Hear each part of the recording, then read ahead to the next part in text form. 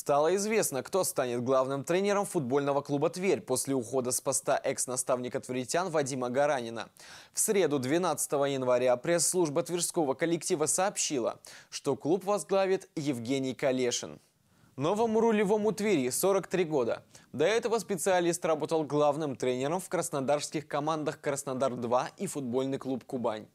Перед подписанием контракта с Тверским клубом он возглавлял тренерский штаб «Балтики» из Калининграда. В карьере профессионального игрока Евгений Калешин провел 18 сезонов. В том числе сыграл 73 матча в российской премьер-лиге.